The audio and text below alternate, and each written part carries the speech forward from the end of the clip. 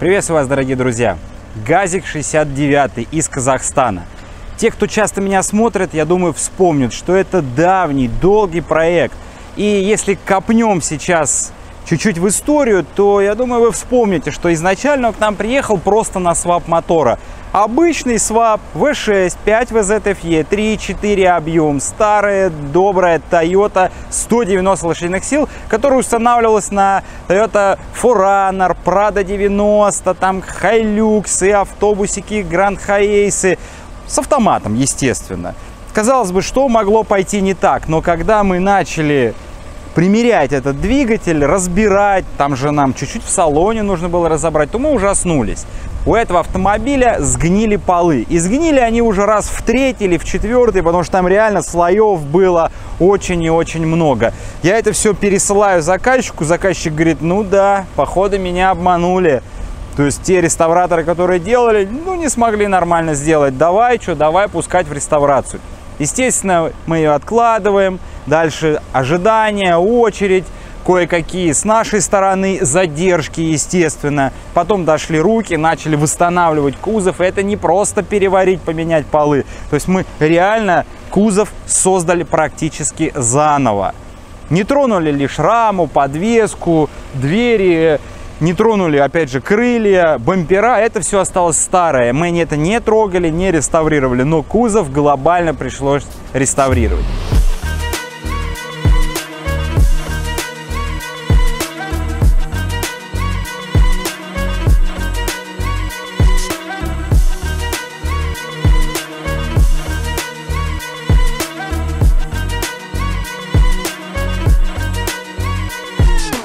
Начнем с внешки. Как вы видите, если сравните с теми видеороликами, то вроде снаружи он особо не изменился. Ну, о чем, собственно, я уже и сказал, что по низу рама и мосты, и колеса, все это осталось как и было. То есть та же резина, те же диски, раму не трогали, лишь зачистили и, естественно, заантикорили. Снаружи по кузову, по сути, тоже глобально ничего не делали. Поменяли только лишь переднюю оптику, она уже хрустальная, с нормальным световым пучком, нормально можно ездить, видеть, действительно, чтобы это было безопасно. Поменяли заднюю оптику. Это уже современные такие светодиодные фонари, которые классно видны. Тоже это было задачей клиента, чтобы, ребят, надо сделать так, чтобы было видно. Пусть это смотрится как-то по-современному уже, потому что нету задачи аутентичности в этом автомобиле, но чтобы было видно в темное время, это безопасность. Мелкие внешние элементы внедорожные, такие как, скажем, вот лебедка, вот эти вот штучки, чтобы габариты можно было чувствовать, потому что там посадка водителя чуть ниже, лобовое маленькое, вот эти штучки, это все осталось родное. И я считаю, что они реально нужны, они помогают. Передние туманки, фароискатель, пружины, амортизаторы, какие-то, кстати, тюненные. Это тоже все здесь было, мы ничего это не трогали, все это остается как, собственно, и есть. Переходим к тенту. Условно может вам показаться, что он остался такой же, как и был. Да, его формы похожи, но нам пришлось полностью сделать его из другого материала. Дело в том, что до реставрации вот эта дверь задняя, она была заварена. Вот эти формы, вот эти углы, они были другие. То есть, я так понимаю, там было перерезано что-то. И коль уж мы боковинки, вот эти элементы, дверь уже разрезали, сделали как по заводу это должно быть, то форма тента вот в этой части уже никак не стыковалась. Пришлось его сделать заново. Вот эти все крепежные люверсы, понятное дело, что остались примерно так же, как и были. Заднее стекло вот это вот на болтиках также сохранили, но материал здесь уже использовали новый. Это кожзам и немножко перекроили сам механизм складывания. Поставили другие линейные актуаторы, они стали мощнее, быстрее, поэтому крыши теперь пользоваться одно удовольствие. По внешним элементам имеется в виду бампера остались родные, как и были. Ну, не то, что родные, которые здесь и стояли. Рифовский задний, рифовский передний бампер, кронштейн запасного колеса, квадрат, розетка. Это все осталось, как, собственно, и было. Переходим под капот. Там самое интересное, собственно, изначально для чего он к нам и приехал.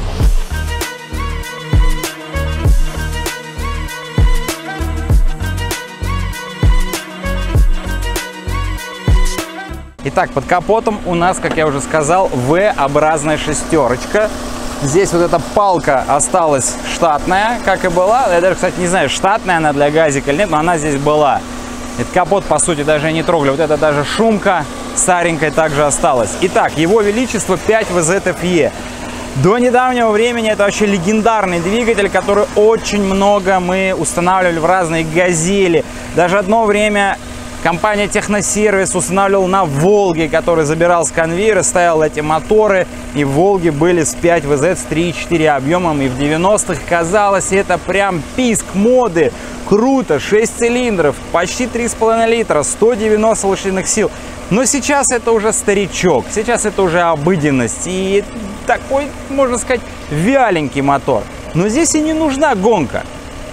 Вы же помните, мы уже делали такой газик с V8, и там действительно он может удивить. Здесь же в чем кайф этого мотора? Надежность, неприхотливость и самое главное, низовой крутящий момент. Пробежимся по подкапотке. Глобально подкапотное пространство мы не реконструировали. Лишь моторный щит вот в этой части, вот здесь вот, немножечко мы доработали. То есть сделали небольшое углубление, хотя можно было бы мотор еще сюда вперед сдвинуть, но дело в том, что здесь вот широкое навесное оборудование, да и хотели оставить расстояние, что в будущем при обслуживании замена ГРМ, ремней, чтобы это было без глобального разбора, чтобы был доступ ко всем там свечкам и так далее. Как видите, это нам удалось. Сам по себе я думаю, это видно, что двигатель компактный, очень хорошо сюда вписался. Обвязка это фильтр, естественно, с холодным впуском. То есть вот она идет гофра у нас спереди, забор воздуха. Радиатор алюминиевый AGS. Вентилятор у нас Audi A6 с диффузором самодельным. Вот как раз он включился, видите, начал вращаться. Датчик. Это аналоговая система как вы знаете, мы часто, бывает, ставим уже вентиляторы с плавной раскруткой, который может работать с современными блоками управления. Но это же старичок. Здесь все аналоговое. И вентилятор здесь также должен быть аналоговый. В чем-то лучше, в чем-то хуже, но в целом он справляется. У него две скорости, трехконтактный датчик, поэтому все нормально. По переду у нас присутствует максимально большой радиатор на охлаждение автомата и радиатор маленький вот здесь вот на охлаждение гидроусилителя руля. Как вы знаете, вообще в газиках не было гидроусилителя руля, но здесь он есть. Появился он ранее, еще до свапа. Он у нас располагается под генератором, такой большой червячный механизм, который мы также подсоединили к насосу, сделали шланг, все это работает без каких-либо проблем. По левому борту у нас омывательный бачок, причем, обратите внимание, он остался родной, ну то есть тот, который был на этом газике. Не родной для него, но родной для владельца. У него еще моторчик, как на старых Жигулях, на пятерках, вот кто ездил, пятерки, семерки, там вот такие моторчики появлялись. Но мы его сохранили, я не знаю, он работает, к нему претензий нету, как бы, ну а зачем изобретать велосипед? Тормозной вакуумник, главный тормозной цилиндр, конечно же, поменяли. Это все Япония. Вся электрика, все провода, все гофрочки, как вы видите, все это новое. Здесь вот коммутационный блок, в который у нас подсоединяется и стартер, и с аккумулятора, учитывая, что у нас в салоне сзади располагается с генератора, силовая цепь. И вот здесь можно прикурить либо другой автомобиль, либо если у этого автомобиля сел аккумулятор, вам не надо разбирать в салоне там специальный отсек, чтобы долезть до аккумулятора. Вот заглушечка, раз, все, так вот она закрыта, то есть минус мы берем с мотора, а здесь у нас плюс. Далее у нас здесь современный блок уже стоит, как вы знаете, мы любим их устанавливать. Ну а что, к нему нету претензий, здесь предохранители, здесь реле, то есть и защита, и разгрузка, и блок, условно говоря, пыли влагозащищенный. Ну, имеется в виду, что у него конструкция корпуса такая, что даже если вы моете вот так вот сверху керхером, то здесь ничего не проникает, она все стекает и внутрь не попадает. По подкапотке, скорее всего, больше мне и нечего добавить. Как вы видите, все это доступно, компактно, прозрачно и понятно для дальнейшей беспроблемной эксплуатации. Заранее прошу у всех прощения, но маленькая рекламная пауза. Многие подписчики меня спрашивают, какое масло я могу порекомендовать. И чтобы я не пытался посоветовать, Бывает советуешь, и это масло сразу же где-то в магазинах появляется поддельное. Ну, казалось бы, какой смысл от моего совета? Надо советовать то, на чем я лично езжу, на чем ездят мои клиенты, мои друзья, коллеги, знакомые, родственники и так далее. И я хочу вам порекомендовать класснейшее масло Купер. В данном случае это синтетическое масло линейки NS Line 540. Масло это абсолютно наше отечественное, то есть важно понимать, Само масло состоит из двух компонентов. Это базовое масло и пакет присадок. Так вот, здесь и базовое масло, и пакет присадок наше отечественное. Преимущество этого масла заключается в том, что технология именно пакета присадок сделана на базе ионов меди. Это старая забытая советская технология. И учитывая, что уже прошло много лет, и эту технологию довели до совершенства, поэтому поверьте, это масло действительно стоит своих денег. В описании есть вся информация об этом масле, ссылка на сайт, и по промокоду NVA Motors вы получите скидку от меня лично 10%. Так что переходите быстрее и получайте скидку. Буквально вчера я у них был в офисе, и вот для себя отдельно я купил масло вот такое 75-85. Это трансмиссионное. Как вы знаете, видеоролики уже заранее я показывал, я сейчас для себя собираю Range Rover Sport на 5-литровом моторе, то есть с трокерном 2 UZ и редуктора чуть-чуть другие вставляю, я потом об этом расскажу отдельно. И вот как раз я съездил, купил масло для того, чтобы сразу налить качественное масло, и чтобы уже не было проблем, учитывая, что я хочу получить довольно-таки быстрый внедорожник. Переходим в салон.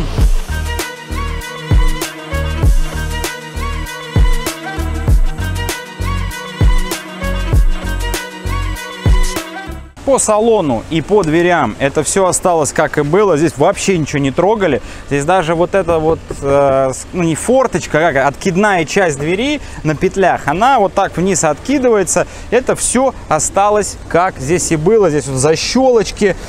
Ну, я не знаю, может быть, я бы это по-другому сделал. Вы помните тот серый газик, который мы первый делали? Там мы сконструировали рамки, стеклоподъемники. Даже сейчас вот жарко, кондиционера нет. Да, это спасает. Можно и верх открыть. Но все-таки, когда есть кнопочка со стеклоподъемниками, это лучше.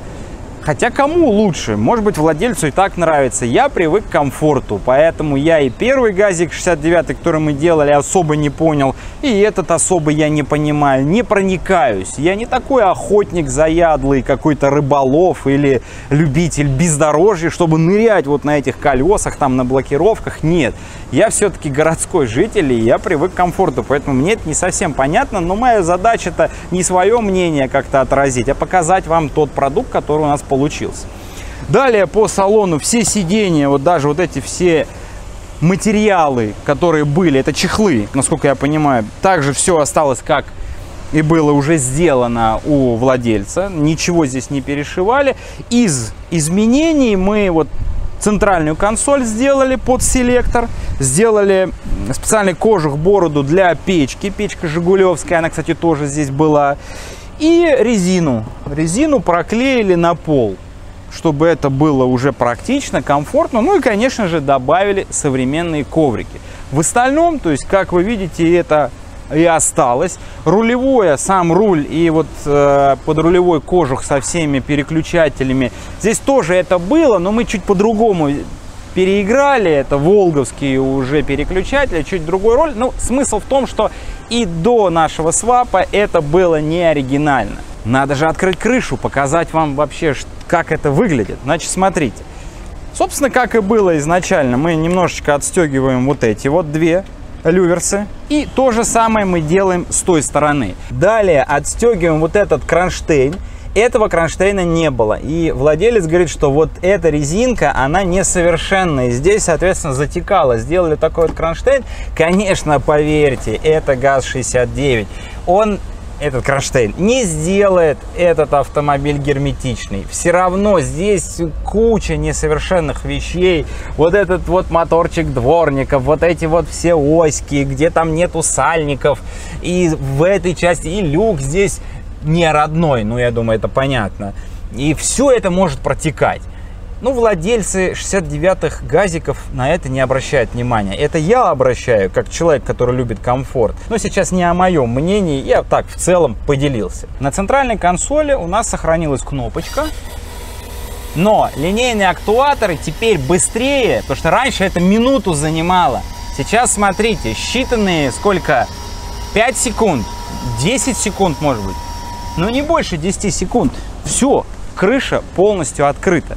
Ее конструкция вот такая и была. Я не знаю, кто ее разработал, но наверняка предыдущие какие-то реставраторы или тюнингаторы, которые занимались этим автомобилем. Но здесь были проблемы. Вот это плечо, то есть геометрия вот этой части, не позволяла вот так вот с легкостью открывать крышу, пока задние сиденья не сложить. То есть вот эти спинки приходилось складывать, чтобы пройти вот эту верхнюю мертвую точку. Мы же перепроектировали и установку сидений, чуть по-другому крепежи сделали, и вот эту геометрию чуть-чуть переиграли. Как вы видите, сиденья не надо складывать, они стоят ровненько. В принципе, на них можно сидеть, они рассчитаны для детей.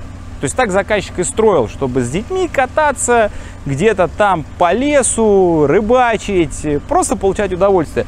Но вот эта вот вещь реально омрачала, что приходилось складывать. Они здесь задевали, упирались, э, нормально не работали.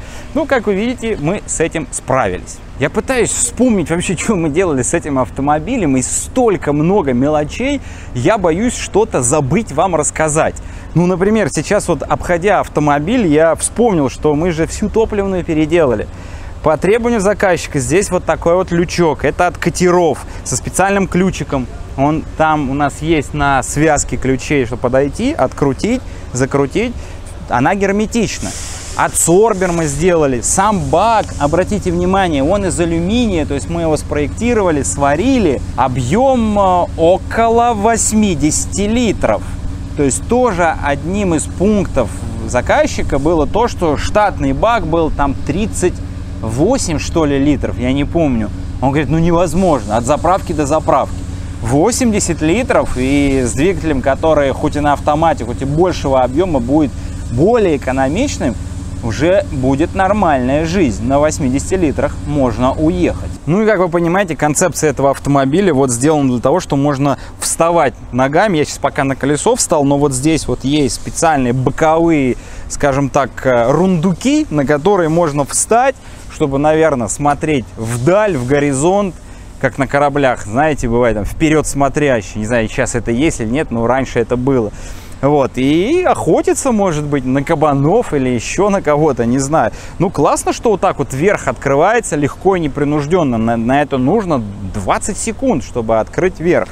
Ну и также постреляли, все, сели, погнались дальше там за каким-то другим, наверное, животным. Я тоже не могу точно сказать, как это происходит, я не особый охотник, но главное, мы сделали то, что задумал заказчик. Сзади, кстати, тоже есть коврики, мы немножечко здесь добавили обшивочек, чтобы, ну, хоть как-то это было комфортно, хотя комфортом это особо не назовешь. Итак, мы в салоне, пробежимся немножечко. Значит, смотрите, приборная панель ну, казалось бы, да, похожа на штатную, но она с изменениями. Итак, ключ поворачиваю на зажигание, загораются контрольные лампочки.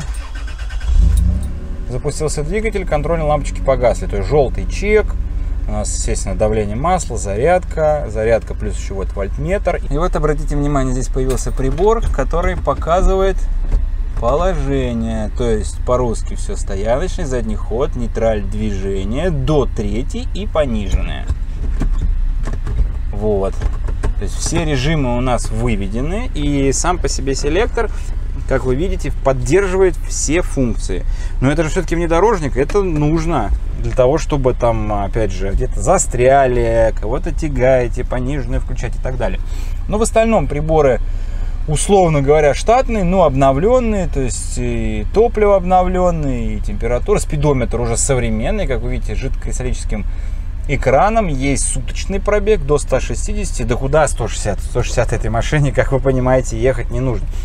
Вот здесь вот, а, по сути, все тумблера, всякие вот USB-шки там и так далее, это вот условно как все и было, мы лишь какие-то мелочи добавили, там, например, кнопку отключение массы. То есть, если машина простаивает, можно отключить массы, включение фар, музыка, часы. Но это все как и было. Даже вот эти наклеечки какие-то тут молодежные, они также были. Центральная консоль у нас ручник присутствует. Причем, причем ручник, сейчас секундочку я вам продемонстрирую. Причем ручник у нас гидравлика на заднюю ось, то есть стоит цилиндр. И по гидравлике вот им можно пользоваться. Здесь в режиме нейтраль у нас есть в раздатке нейтральное положение и, естественно, понижайка. Раздатка здесь э, Toyota Surf 130, то есть это part-time, постоянный задний привод с возможностью подключения передка. Передок подключается кнопочкой и плюс есть хабы. Сейчас они отключены для того, чтобы меньше было вот этих вот всех э, элементов, которые вращаются. Руль у нас волговский, подрулевые, поворотнички, дворники родные с жужжащим моторчиком. Ну, насколько смогли, все это обслужили, сделали. Плафончик был здесь вот этот вот. Люк тоже, я уже говорил про него, был. Вот эти козырьки были. Ну, в общем, глобально здесь все осталось. Вот это вот спартанский интерьер. Вот чуть-чуть мы освежили что-то. Прокатимся, посмотрим, что вообще этот автомобиль представляет из себя в движении.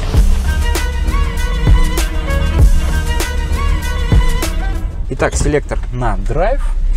Ну и потихонечку поехали. Габариты, конечно, да, приходится вот реально ориентироваться по этим антенкам, потому что лобовое маленькое, капот длинный, бампер там где-то внизу, и отсюда я не вижу его. Вот. Ну, что делать? Это ГАЗ-69, это его, не знаю, изюминка, особенность, как угодно назовите. Выхлоп у нас баночка крузаковская, но учитывая, что это V-образная шестерка, то так, конечно, чуть-чуть бас есть, громковато, можно сказать. Ну вот смотрите, да, я не буду его крутить, вот смотрите, он снизов абсолютно хороший крутящий момент имеет уже 60. Его немножко подшуривает на колее. А все-таки есть грязевая резина. Открыты вот эти вот треугольнички, и поэтому ветерок, который задувает, конечно же, дает какой-то э, второстепенный шум. С другой стороны, какой второстепенный шум? Здесь крыша из кожи, кожбрезентового материала, и, конечно, тут все эти шумы, мы все их слышим. Уплотнительные вот эти резиночки, они тоже несовершенны, потому что это двери ГАЗ-69 родные. Но еще раз подчеркну, это только мое мнение. Я любитель комфорта. Здесь, конечно, не о комфорте речь, а исключительно о тех задачах, для которых строился этот автомобиль.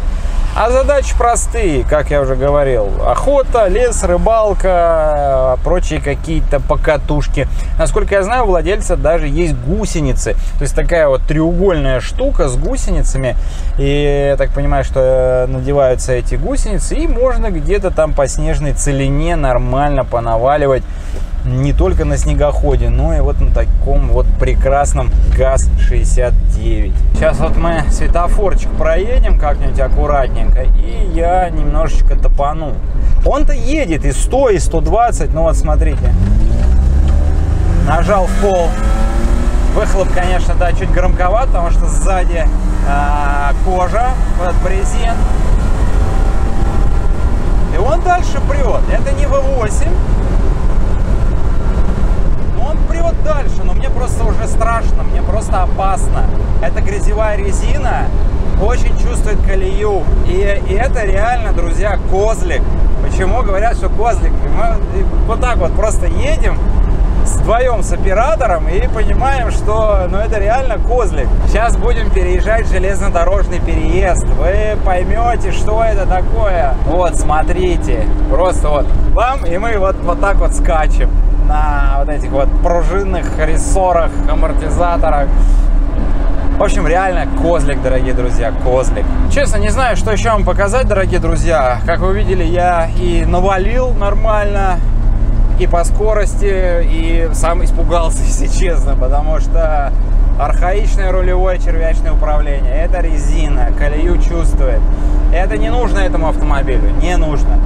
Кайф крутящего момента снизов. 5 VZ на верхах мертвый мотор. Я много раз говорил это в своих старых обзорах, когда мы поголовно устанавливали эти моторы. Сейчас это действительно низовой трутяга только для таких вот специфических внедорожников. Все. Ну, в целом-то что? Комфорт появился? Появился. Тяга появилась? Появилась. Какие-то мелкие моменты тоже по усовершенствованию мы сделали. Кое-чего доделаем еще за кадром. И все, в скором времени мы отправляем этот автомобиль автовозом в Казахстан.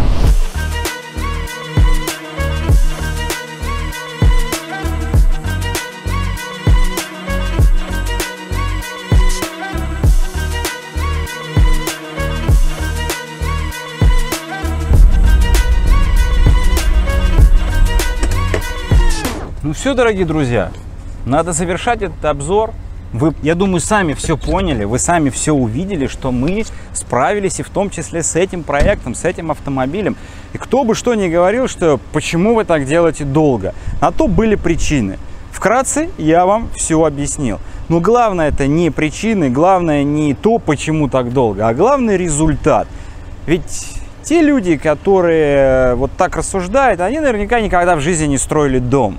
Когда вы начинаете строить дом, во-первых, вы не задумываетесь, сколько это стоит, а во-вторых, вы довольно-таки наивно сами себе говорите, ну сейчас я за годик дом построю. Ага, проходит 5 лет, да, вы в него въезжаете, уже живете, но он не достроен. Но тот кайф, который вы уже от него получаете, он несоизмерим ничем. И поэтому, как вы видите, мы проект заканчиваем. Почему говорю не закончили, а заканчиваем? Потому что еще кое-какие моменты решили добавить. Например, задние дисковые тормоза. Здесь еще барабаны. Изначально а, мы не планировали залезать в трансмиссию, но вот решили добавить задние дисковые тормоза. С зеркалами надо что-то придумать. Может быть, другие поставим или какие-то полусферические зеркала сюда приклеим, закрепим. Пока не знаю. В общем, пару мелочей остается. Проверить, протестировать, доделать. И отправляем этот автомобиль в Казахстан. Поэтому Казахстан, встречай на твоих дорогах еще одним хорошим автомобилем, нормальным, правильным автомобилем для охоты становится больше. Не для комфорта, для охоты и рыбалки. Ну, с вами был, как всегда, Василий. За кадром вся наша команда, которая реально умирала над этим проектом это, это просто не передать словами, я не знаю, что сказать, но это была тяжелая работа, очень долгая работа. Это второй газик, который мы делали. Будем ли мы делать дальше такие газики, не знаю. Я скептически к ним отношусь. Энергии они высасывают в три раза больше, чем Волга ГАЗ-21, чем Волга ГАЗ-24, чем любой другой ретро-автомобиль чем любой другой современный автомобиль. Просто высасывает. Потому что куда вот не плюнь, вот что не дотронься, каждый элемент нужно создавать заново, выдумывать, пробовать. Это не то, что конструктор для взрослых, это просто боль для взрослых. В общем, с вами был, еще раз подчеркнул, как всегда, Василий. До новых встреч!